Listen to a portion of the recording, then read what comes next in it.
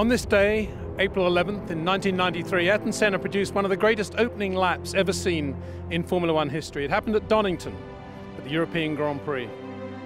The 1993 Sega European Grand Prix is regarded as one of the most memorable races in the history of the sport, where one driver stood above the rest, Ayrton Senna.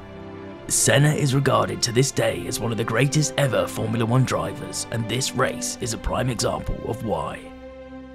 In the legendary race at Donington, Senna won by mastering the tricky weather conditions which saw him jump from 5th to 1st in a single lap, passing icons such as Michael Schumacher, Damon Hill, Alain Prost, in a lap which would forever be referred to as the Lap of the Gods.